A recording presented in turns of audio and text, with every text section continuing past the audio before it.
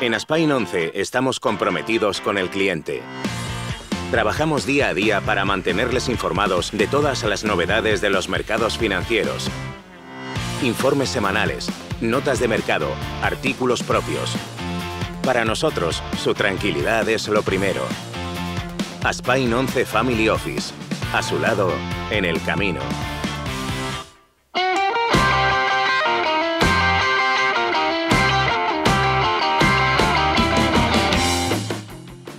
Programa patrocinado por Bodegas Marqués de Cáceres. De la cepa a la copa.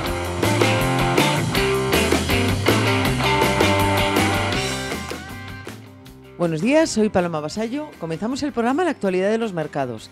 En esta ocasión vamos a hablar del sector financiero, actual gran beneficiado por la subida de los tipos de interés. Eh, Carlos, ¿qué opinas al respecto? Bueno, eh, Paloma, en primer lugar, eh, buenos días y agradecerte la pregunta. Un sector que se ha visto beneficiado sin duda de este cambio de política monetaria y de esta subida de tipos de interés. Y para poder entrar en más profundidad, vamos a hablar eh, con Diego Morales del Departamento de Inversiones que nos pueda transmitir qué es lo que está pasando eh, desde el punto de vista de la curva de tipos de interés, por qué el sector financiero va a ser el gran beneficiado en un momento de inflación y qué perspectivas tenemos a futuro comparando y haciendo un análisis breve de cómo se encuentran los bancos centrales y cuáles son las expectativas de incremento en los márgenes con mayor nivel de solvencia las entidades financieras. ¿Qué tal? Buenos días, Carlos. Eh, bueno, en primer lugar, eh, y bueno, cogiendo tu, referencia a lo que está ocurriendo en cuanto a la curva de tipos de interés, hay que tener en cuenta que una de las eh, medidas que tienen los bancos centrales para, bueno, para contener estas presiones inflacionistas, y es algo que estamos viendo en, en diferentes regiones o que ya ha empezado el ciclo en diferentes economías, como puede ser Brasil, Noruega, otros bancos centrales, como puede ser también Japón, que ha permitido irse a ese, a ese, a esa superior de, del margen de, tipos de interés en cuanto a su curva de, de 10 años, no que es eh, incrementar los tipos de, interés. Ahora se hacen eco las palabras de, Powell y de todos los miembros del FOMC, que es el comité encargado de, establecer esta política monetaria, ya que se esperan próximos movimientos en, ya en el, en el mes de marzo. Ahora está la disyuntiva de si va a ser un incremento de 0,25% eh, o va a ser 50 puntos básicos. De hecho, cuando se publicaron eh, hace dos días las actas de, la reunión de, enero, el mercado cambió sus probabilidades en cuanto a lo que podíamos esperar de esta, de esta próxima reunión de marzo. Es decir, el mercado descontaba una subida ya en marzo de 50 puntos básicos y tras la publicación estas se redujeron al, al 50%. Esto ¿En qué influye la curva de tipos? Evidentemente, cuando esperamos un incremento en, los tipos de interés de referencia que marcan los bancos centrales, el primer impacto lo vemos en la curva de corto plazo. Para que luego este movimiento se, transmita a lo largo de toda la curva ¿no? y tengamos esta misma inclinación en el medio y largo plazo, que es algo que no estamos viendo y por eso estamos remarcando que estamos viendo un aplanamiento de las curvas de interés.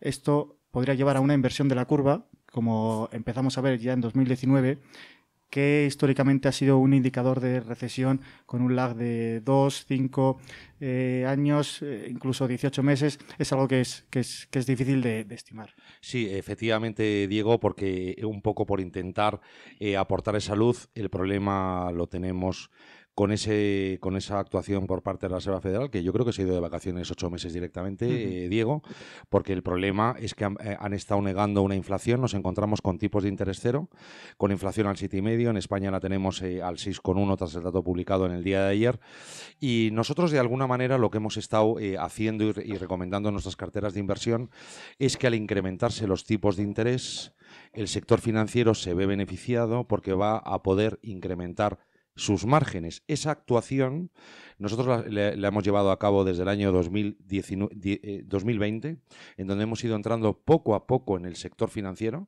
porque creíamos que iba a ser un sector de futuro. Hemos en el año 2021 eh, incrementado mucho más las posiciones y creemos que es un sector que va a ganar y va a seguir ganando eh, a futuro.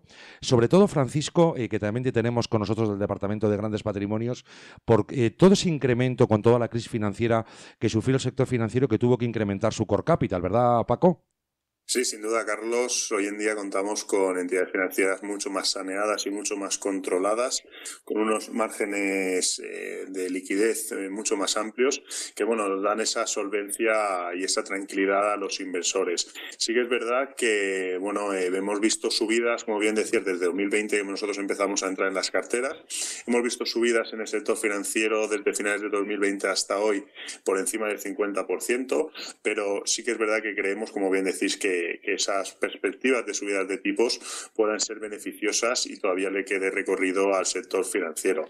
Sí, eh, eh, claro y conciso, eh, Francisco. Y desde ese punto de vista, bueno, ayer salió publicado, estuvimos leyendo, el BBVA es de los bancos más solventes de Europa. está entre los dos bancos más solventes de Europa, pero bueno, nosotros quizás por todo nuestro asset class siempre recomendamos comprar distintos bancos a nivel global, vía fondos, incluso, bueno, pues en Estados Unidos hemos visto unos resultados, podemos decir, dispares, donde al final en todo el mundo global, incluso también, eh, Diego, hablando de China, toda esta bajada del coeficiente de caja, todas las medidas que están adoptando de política monetaria, que son expansivas, de, alguna manera va a intentar eh, controlar esa burbuja inmobiliaria y ver hasta dónde los bancos van a aprovisionar todo esto.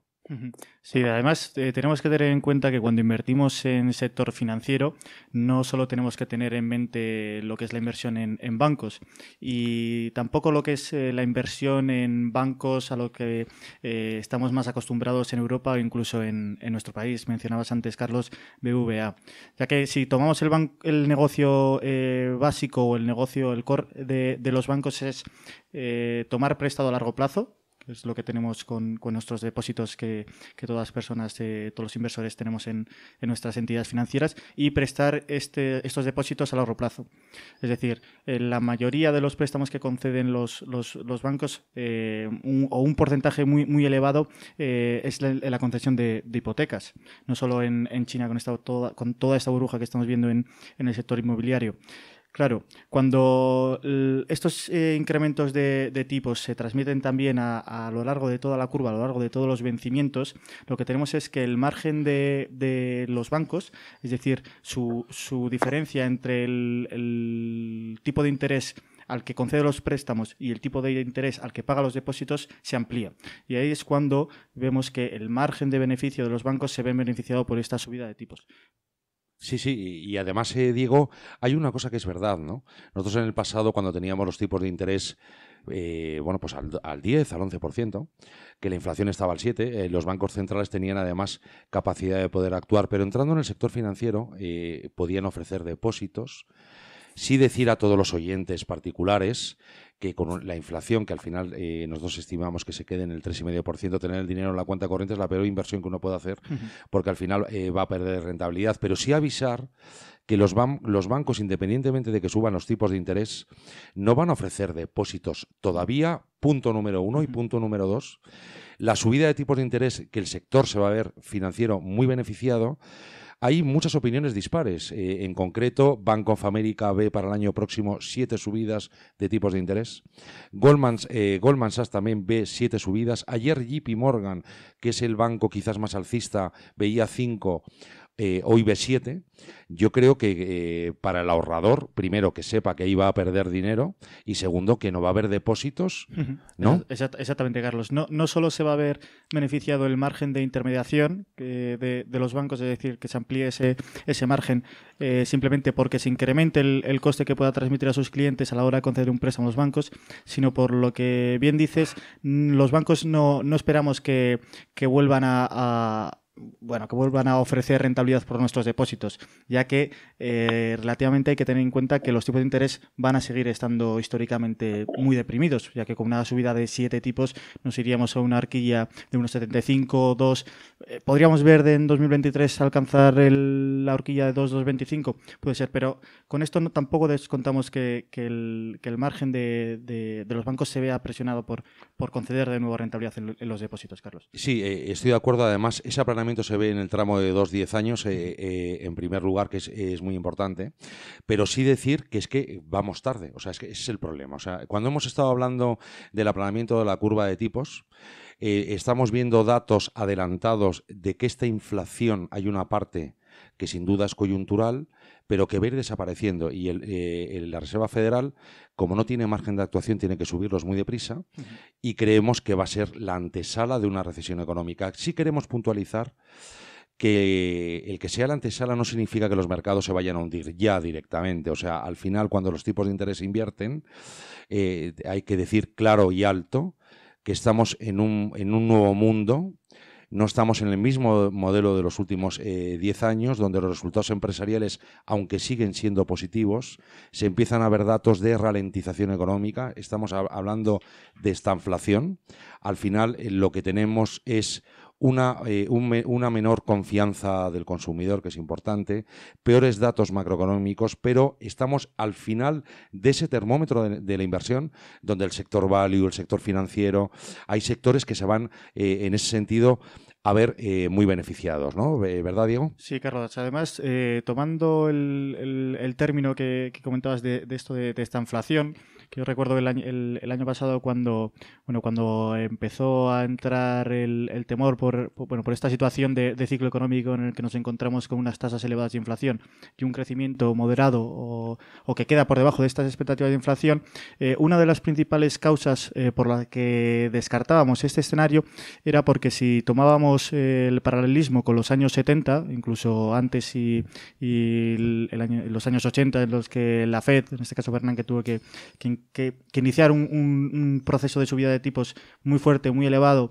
y, muy bueno, muy consistente. ¿no? Una de las diferencias que veíamos es que la, subida o el incremento que veíamos eh, en estos años del petróleo, de la energía, que es lo que causó principalmente esta escala en, el índice de precios, venía casado por una guerra, Carlos.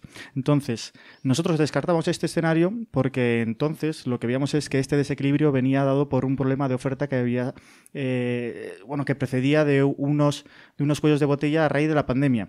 Pero ahora tenemos el conflicto de, Rusia, que eh, era muy difícil descontar que, íbamos a llegar a este nivel de, escalada de tensión entre, entre, bueno, entre Rusia y Ucrania y, otros agentes que vemos que están eh, interviniendo de por medio, como puede ser Estados Unidos, que hay que matizar que en enero Estados Unidos pasó a ser el principal exportador de gas natural licuado en, en Europa, por lo que sería uno de los interesados desde el punto de vista económico esto no es, eh, no es algo nuevo, ha pasado en, en otras eh, ocasiones y en otros conflictos geopolíticos.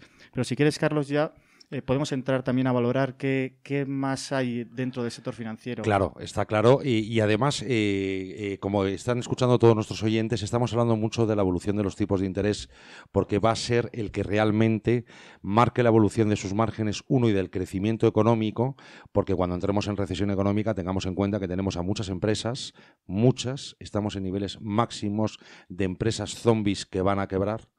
Y al final esto va a derivar en un incremento del coste de la financiación, a medida que la recesión económica salte, el sector financiero se va a ver también perjudicado, pero no, no en el corto plazo, sino dentro de dos, tres años. Y en ese sentido, eh, analizando el sector financiero eh, en España, eh, sí queremos aportar un poco desde el punto de vista de cómo se encuentra el sector en el asesoramiento financiero, las nuevas eh, entidades que están haciendo, los robo-advisors, eh, todas las empresas de fintech, la automatización, qué está pasando con las grandes entidades financieras que desde nuestro humilde punto de vista lo que vemos es que con estas fusiones que se han producido no tienen la capacidad de poder crear un traje a medida.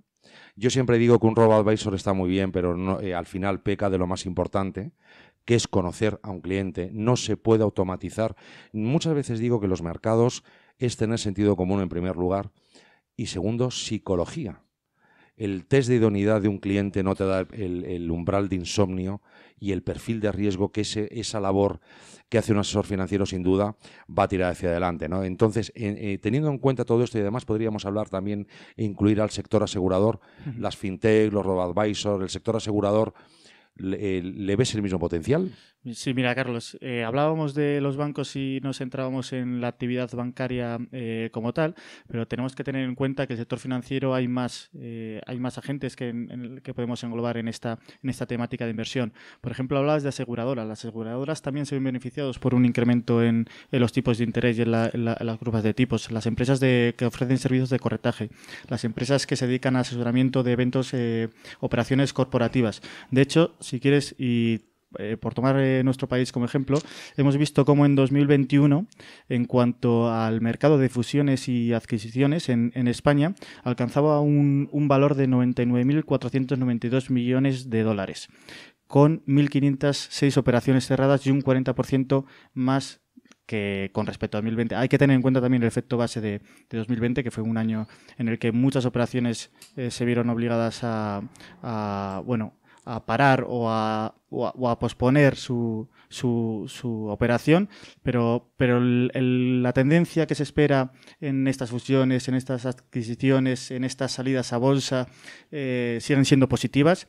Y eso teniendo en cuenta que eh, España es eh, o tiene una cultura o un un experto financiero más pobre, por decirlo de alguna manera, que los países anglosajones, como puede ser el Reino Unido o Estados Unidos, en los que es un, un país donde, donde vemos una mayor eh, un mayor dinamismo, una mayor presencia de empresas, una mayor especialización incluso en, en todo este tipo de, de, operaciones corporativas y creemos que la tendencia sigue siendo positiva. Evidentemente, si, si tenemos o esperamos una contracción del ciclo o un crecimiento más moderado, eh, todos los sectores se verán perjudicados. Habrá, evidentemente, y aquí es donde hicimos hincapié a principio de año, donde la selección de, estos sectores y estas compañías eh, cobran de verdad eh, especial importancia en, en, estos momentos en el que el mercado presenta una volatilidad eh, excesiva o muy, muy elevada y, creemos que ese será el, valor añadido que, como bien decías, Carlos, un robot advisor no, no podrá proporcionar y una entidad eh, como, como, la nuestra, en la que, la que, bueno, que cada cartera la tomamos como si fuese un, parte de, nuestra familia, se, se, verá realmente beneficiada. Y eso es una realidad, porque al final, cuando analizas los costes del cliente, analizas que puedes comprar cualquier activo de inversión pues al final eh, lo, que estamos es comprometido con, con, todos nuestros clientes y con todos nuestros oyentes. El sector financiero va a seguir teniendo recorrido. Hay que estar muy encima para cuando se inviertan las curvas de tipos de interés. Agradecerles además todo lo que se están sumando y sí decir una cosa.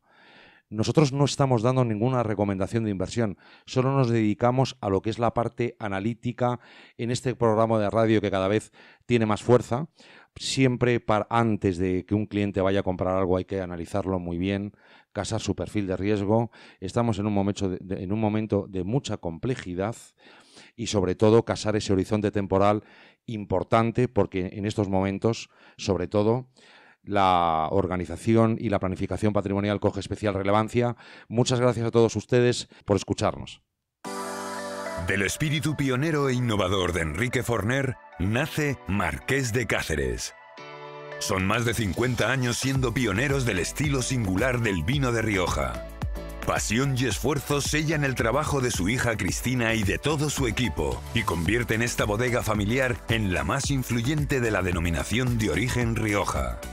Marqués de Cáceres es el alma de un terroir único Vinos elegantes, con carácter, que invitan a compartir y disfrutar momentos felices. Vive la experiencia de la visita a la bodega y sus viñedos. Marqués de Cáceres, la elección más acertada.